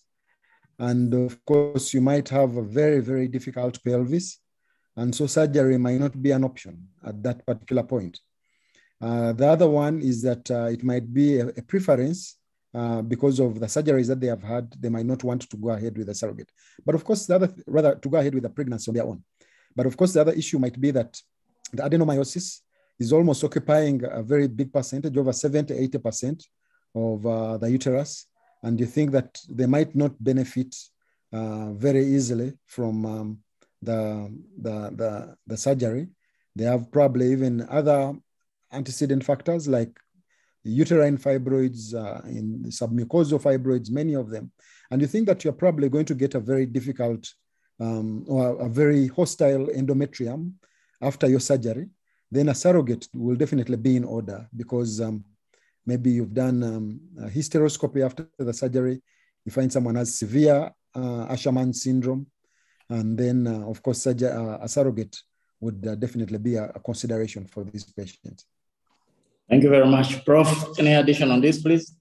Yeah, well, um, probably um, I'm fascinated by the difficult surgeries, not, not by the easy ones. So particularly if there's 80% of the uterus is being um, converted into adenomyosis, uh, Dr. Mark, I, I, feel attracted by helping those uh, patients, particularly if they also do have fibroids, because uh, we, we still will find enough tissue in order to reconstruct the uterus. It takes longer. This is not sort of everyday surgery, but if you really take your time, you can manage this. And uh, I have quite a number of patients that after such type of surgery got pregnant. And uh, this is this is my um, my reward for having spent uh, hours in, in doing all the, not only removing, but also reconstructing. So, so from that point of view, I, I can only encourage everybody to sort of learn this and refine this to be uh, more, more advanced in the outcome of this type of surgery. And just to answer one question that was popping up, and that is talking about uh, cervical cerclage. Um, to my mind, I do not see any reason for doing a cervical cerclage in, in case of endometriosis. This I have done um, extensively in cases where women had recurrent abortion because of incompetent cervix. And then one should perform a cervical cerclage in combination with a closure of uh, the cervical canal. All right, uh, thank you very much. I think that question answers Dr. Adebayo from Nigeria. You answered about, uh, uh, you put that question across about cervical cerclage. Um, Dr. Katunji asks, um, I think this will go to Dr. Yamal, and, and you can also give your uh, comments and questions. Um, to Prof as you had uh, elucidated here. Someone asks, what are the obstetric complications? Um, things like uh, abnormal placentation uh, after uh, adenomyosis surgery. What is your comment, Dr. Emma? Uh, thank you, Dr. Spire. I think. Uh, Dr. Emma. Yes. Can you hear me? Yeah. All right. Yeah, I say I think. Uh, yes, yes. yes an extensive adenomyosis surgery, uh, that is quite a possibility, especially if the if the the you know endometrial myometrial junction has been interfered with a lot. Now, uh, if you do the the adenomyosis surgery properly, uh, the way he said in the modified Osada technique or the flap technique, the triple flap technique that can be done laparoscopically, uh, what you're leaving is a, a centimeter of uh, myometrial towards the serosal layer and roughly a centimeter that is outside the endometrial lining, the junction and you excise all the rest of the tissue and then you overlap them and flap them over, which means you try not to open up the endometrial cavity if you can. Uh, then in that case, the chances of that would be lower because you're giving a stronger uh, repair of two layers on top of each other. Whereas if you just repair it adjacent to each other, then definitely that's a very weak uterus, and the risk of rupture, even prematurely, antenatally, remains. So it has to be it has to be a meticulous repair. So adenomyosis surgery, extensive diffuse adenomyosis surgery, is not in the removal of the adenomyosis, as very rightly said by Prof. The, the, the challenging part is the reconstruction. So if the reconstruction is done well, then I think we can reduce those uh, risks as well. Uh, thank you. A any comments, Prof? Otherwise, I had a few uh, questions I just wanted to bring up and have uh, you uh, clarify for the rest of the audience. Yeah, no, no, no, I fully agree with you. Um, the point is, particularly in infertility, we have to also compromise our surgery, but still we have to try to be as radical as possible. Thank you. So, uh, Prof, a, a few uh, clarifications I think uh, that's just come up. Uh, number one, when you, when Visanne, many patients do ask us, when Visanne is used, let's say for example, would you limit the duration of Visanne, and if so, to how long? Well, first of all, Visanne was first introduced as um, Dynogest, I think, in Japan. And Japan has experience with uh, this drug for several years. So I have patients that are fine with it. They have no side effects. They, they take it sort of for, for many years. Yes. All right, good. Uh, number two, would you agree with me on one statement? For deep or extensive endometriosis, uh, if surgery is needed, always laparoscopy, preferably never laparotomy. Well, yes, of course, but this is my my political statement. You know, yes, yes, I yes. I have been brought up as a um, as a laparoscopic surgeon, even though I do extensive oncosurgery. But um, the the fine art is um, uh, doing laparoscopic surgery, and as we know, um, in in most cases we can do things sometimes even better because particularly when we are at the uh, um, rectovaginal septum uh, we have a much better vision laparoscopically than if we do it by by uh, open uh, laparotomy. True true Thank you. Uh, another question that normally baffles many of us when we see our patients in the clinic, and many of them come and tell us, uh, doc, uh, I really don't understand why I got it. And uh, I tell them that, uh, you know, obviously the causative agent is not very clear. The, there are so many theories. It's a disease of theories.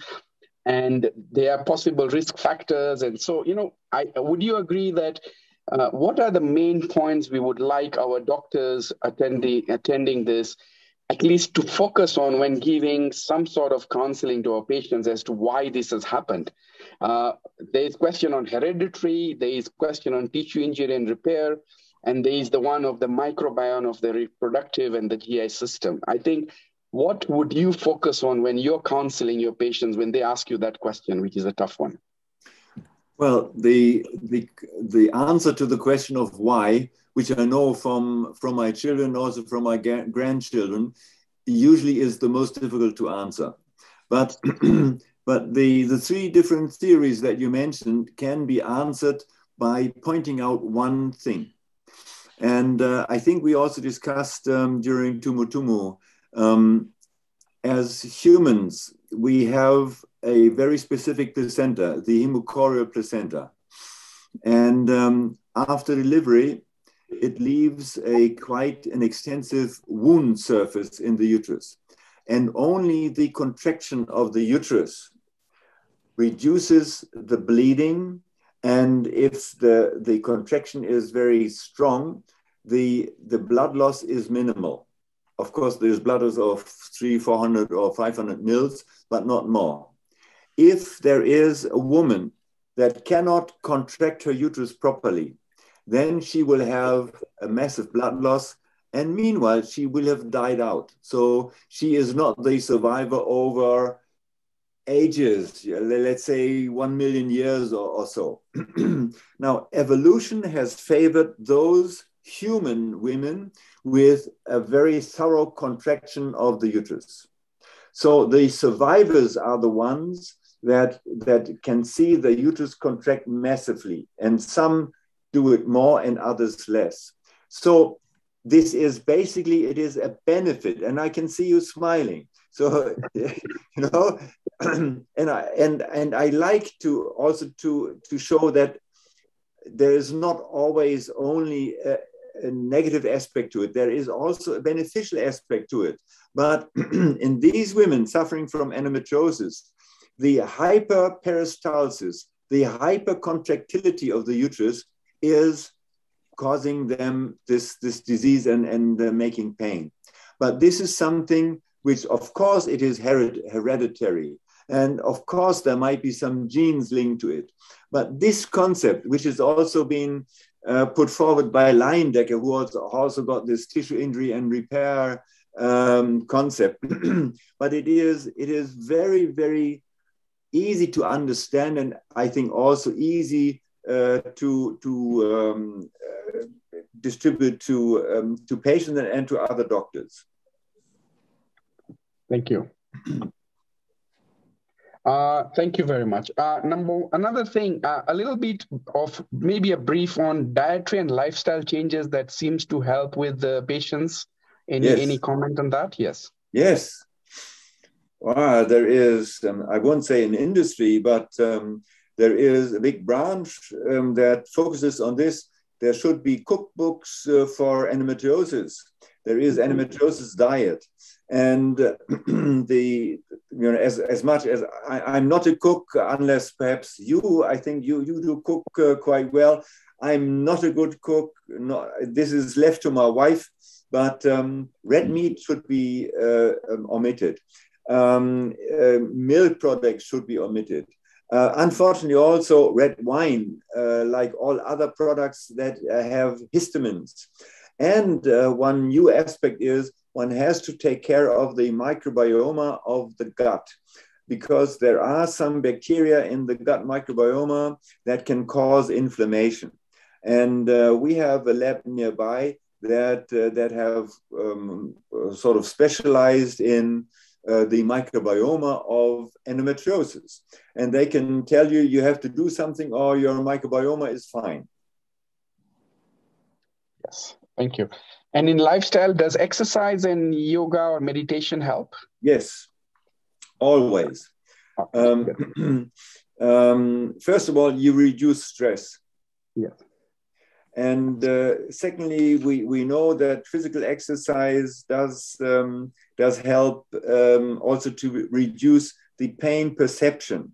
So it might not help uh, get rid of the disease, but the way the disease um, is, um, is appearing to this patient.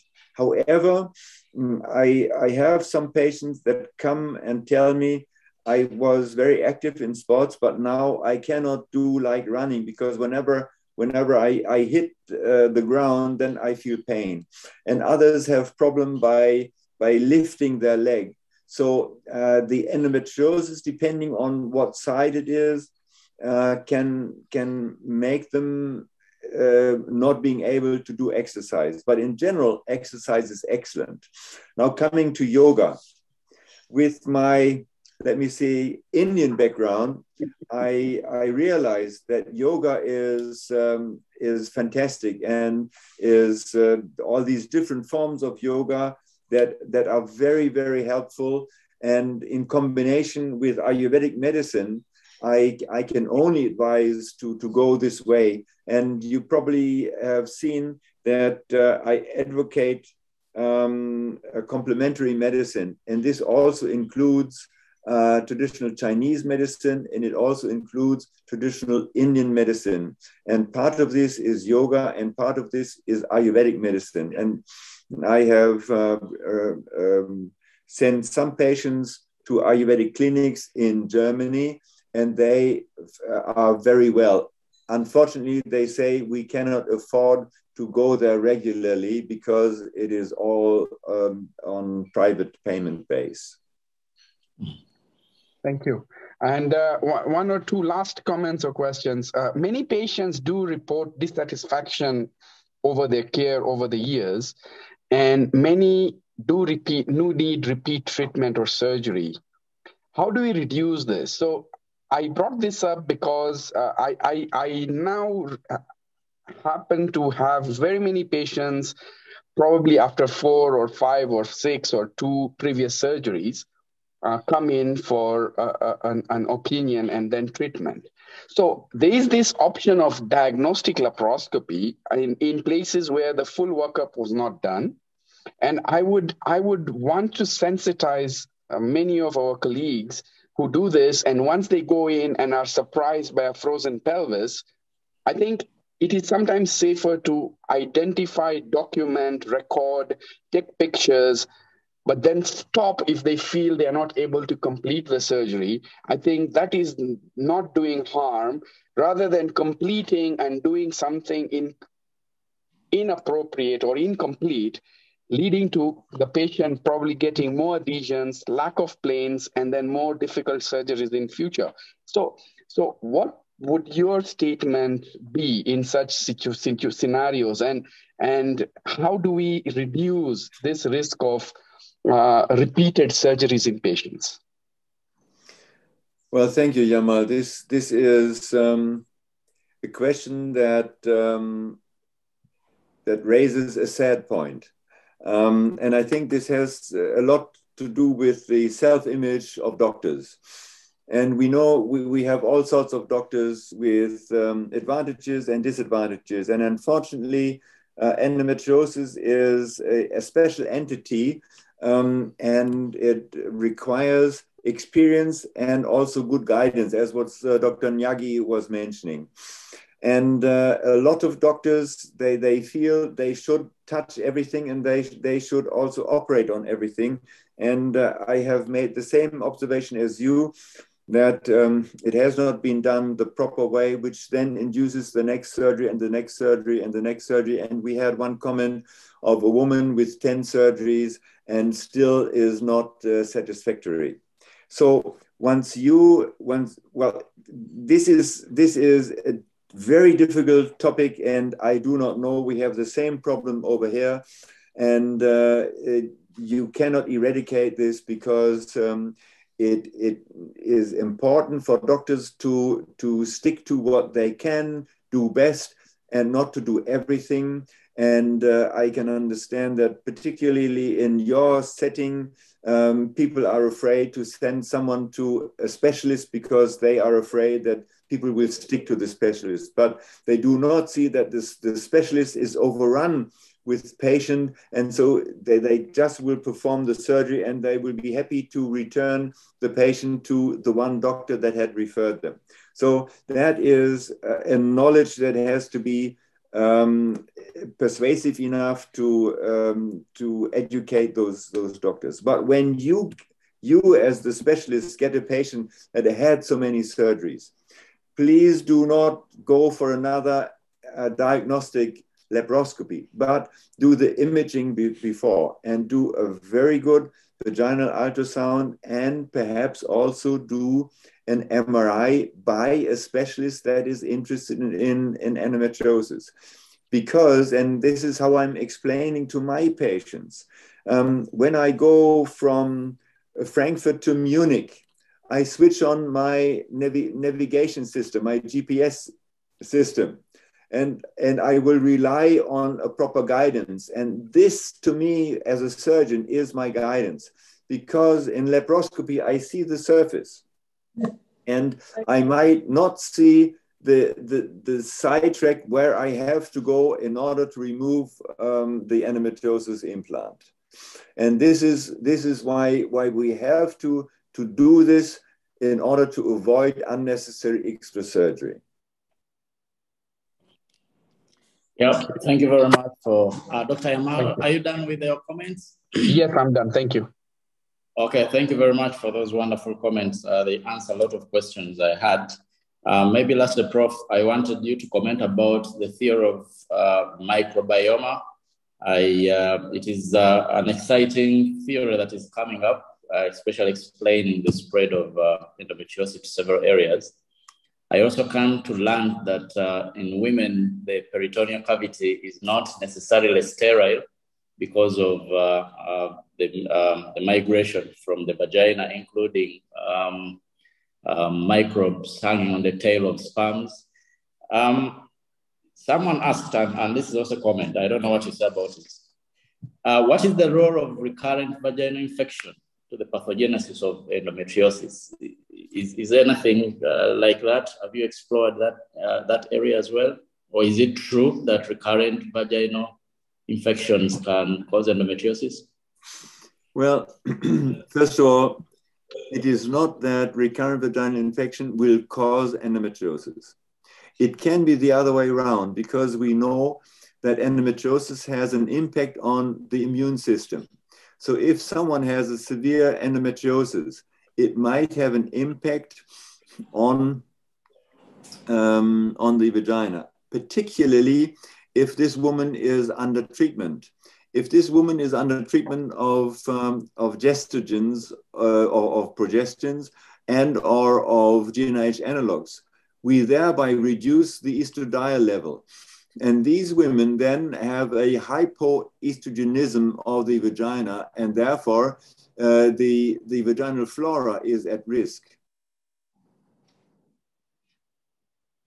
Yeah, but it's not the other way around. It's not that um, recurrent infections will cause endometriosis.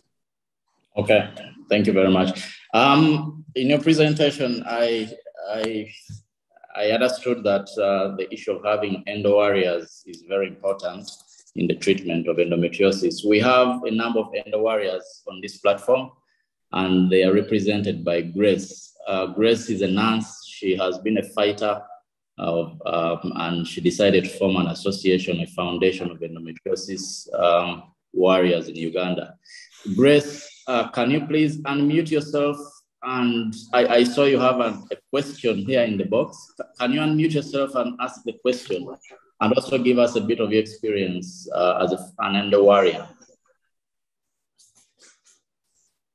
Um, yeah, I'm, I'm so glad to be in this meeting and to really have met all of you, our dear gynecologists, our dear doctors. Thanks, Dr. Kiggundu. So my name is Grace Nagawa, an endo warrior and a nurse, and a founder of Endometriosis Foundation Uganda. Um, yes. Am I clear? Yes, absolutely. Sorry? Absolutely clear. Yes, go, go, go right yeah. ahead. Yeah. Yeah. So I've had endo for over now 19 years and I was diagnosed at 27 years of age because I think I began at 14 years of age. That's when I had this menstrual pain. It was so painful. and I had it for two weeks. I used to have my menses for two weeks. So from 14 years of age, I used to have this pain, but I used to go to hospitals, but I never diagnosed that I had endo. I used to be in horrible pain, moving hospitals, treated for UTI and PIDs. So that problem kept on increasing. I used not have clear blood. It used to be um, dark spots, crampy, horrible pain. So at 27 years of age, by then, uh, like eight years back, I used to get daily pain. That pain that I only used to get during my menses, it kept on being pain before, pain during, pain after, until it became daily pain. So by the time it was daily pain, I used to get pregnancy symptoms, nauseated, headache, chronic headache. Like you get that headache for a month, for months, and it doesn't clear away with painkillers. I had to get bleeding ulcers because of the horrible painkillers we take, Ibumex. I used to faint on injectables. So um, whenever I would take like pethidine, I would black out so it was really a long journey and surprisingly doctors couldn't tell i had endo so at 27 years that was 2007 2020 2017 that's when i was diagnosed and it was already stage four so at that time of diagnosis still i was told i couldn't be managed here in uganda um, it was it had affected all my ovaries, was ovarian endo, and the intestines had the cells, the abdominal wall had the cells. So I thought I couldn't be managed here. Yeah. I had to move to the referral hospital and I saw the same thing. You die with that life, with that pain. We have no cure for this severe stage. So we tried to move abroad and as worked on in Nairobi by Professor Rafik. So it was done well because my life changed. I felt much better. I had that energy in me. I felt the pain had reduced. And I thank God. And that's how we came up to found Endometriosis Foundation Uganda. I'm so grateful that now we have Dr. Kiggundu. He's really working hard to see that at least we can now manage it in Uganda. It has been so hard. You find that many of the endo warriors here uh, people join in and someone will tell you, I have had three surgeries, I've had two surgeries, but at times the condition is just worsened. So you find that getting a better surgery at least changes our life. Uh, so we found Endometriosis Foundation Uganda, and basically what we do is sensitization to the health workers, because many doctors seriously uh, take a period pain to be normal. So they try to normalize this pain, and as the condition is growing from stage one to, to the severe stage. So you find that we do sensitization, we do counseling and health education. Uh, we also support ladies with endometriosis assess at least best health care management. You find that if we get these, once we get these ladies, they are supported psychologically, we do counseling uh, and link them to the best health facilities. You know, we thank Dr. Kiggundu and the guy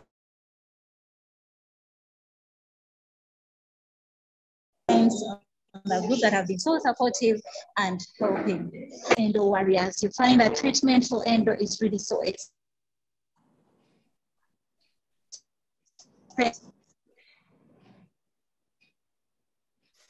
expensive. Someone has to get dollar get cases are really high. Okay, Grace, and you find that many of us have, which is so expensive. I've seen Hello. Yeah, so um, I've seen Dr. Mingo on the group, a fertility specialist. How we wish we can really partner and see how we can work together. Because at times we really get, you know, we have warriors on the group. Someone is journeying with an endo, and then you find that even fertility we have that storage of the eggs, even the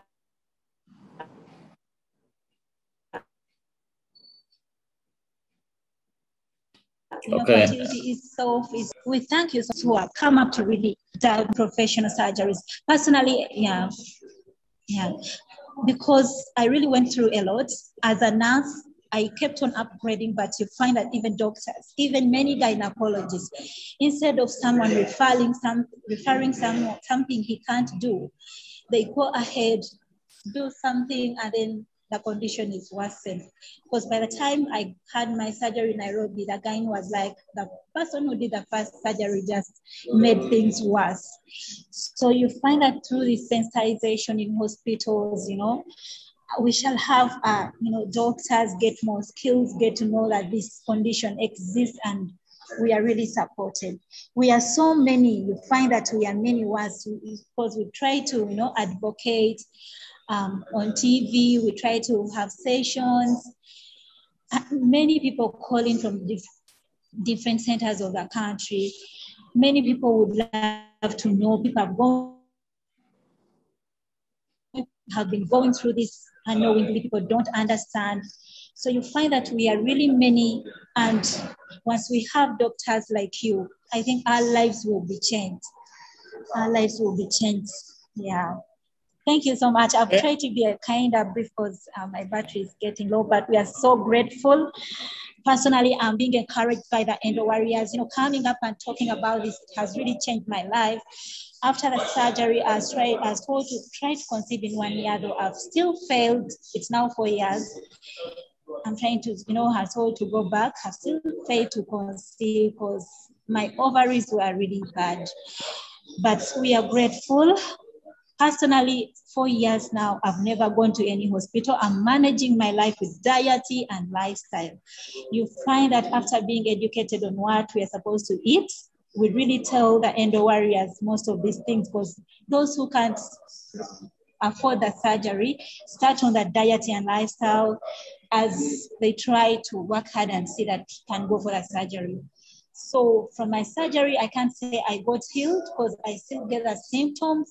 I still get the cysts, the chocolate cysts, but once I work on my diet, for sure the cysts shrink.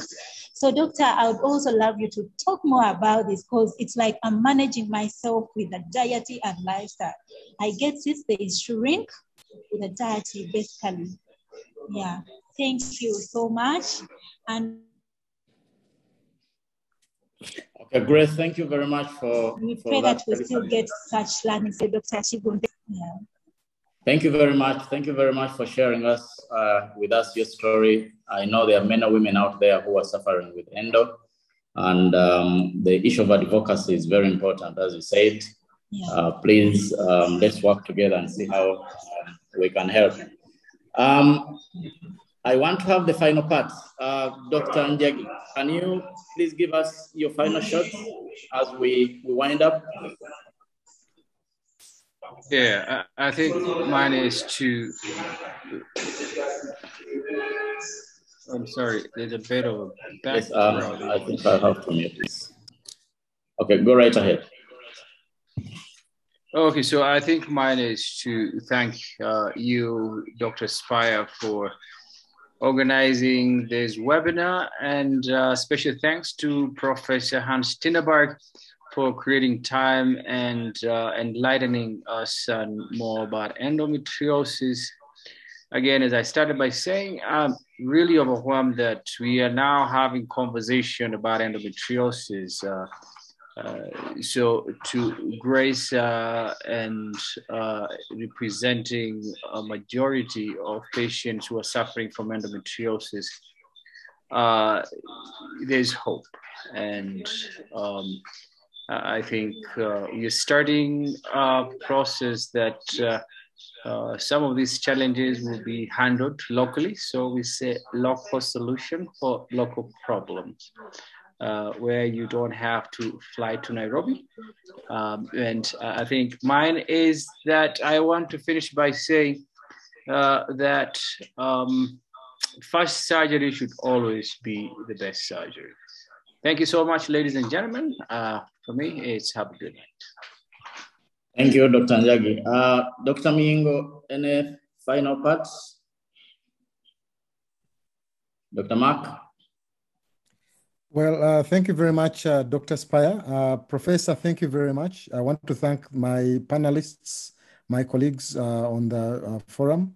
Uh, I think it's very, very important that the endometriosis surgeons work very closely with the fertility specialists because, of course, we, it's, as Professor said, this is a multidisciplinary approach.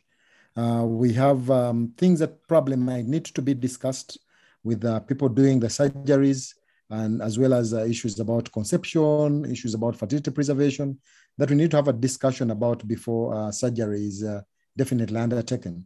Uh, and as uh, Professor rightly said, I think it's important we all upgrade our skills so that we can be able to uh, give these ladies the best type of treatment and care and decide when to do surgery and when not to do surgery. I think it's very, very important, especially uh, in uh, the endometriosis warrior. Uh, we, we, pledge that we will definitely work very, very closely with the Endometriosis Society to be able to see how best we can give you a service uh, to make sure that your fertility, your fertility desires are met. Thank you very much and good evening to everyone. Thank you, Dr. Miingo. Dr. Yamal, your final shot, please. Uh, thank you, Dr. Kiggundu, very much for this excellent uh, presentation. I mean, excellent webinar today. Uh, I'm really grateful to again hear such wise words from Professor Tinneberg, and uh, our panelists.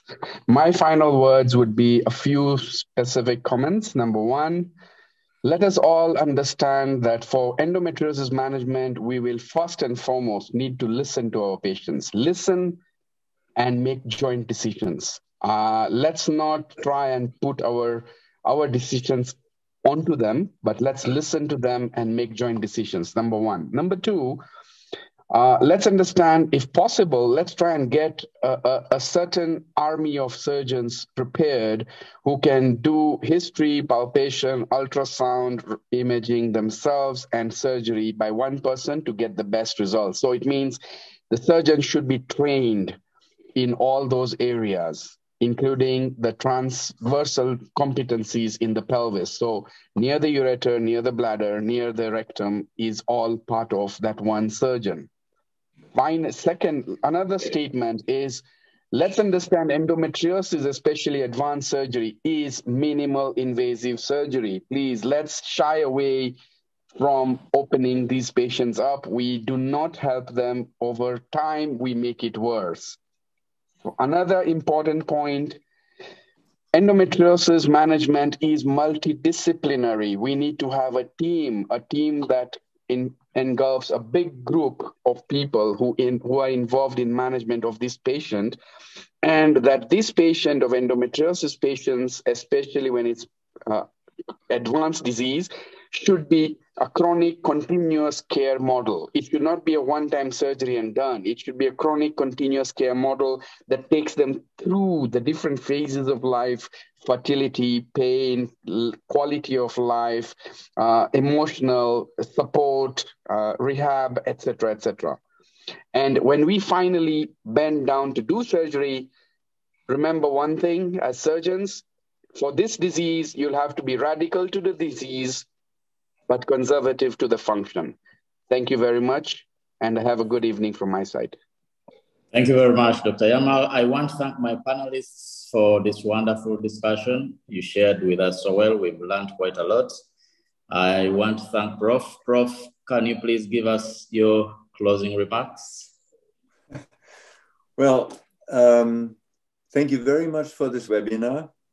It again showed me that there is great interest in this very specific uh, disease in gynecology. I think Dr. Yamal had said all the important uh, aspects.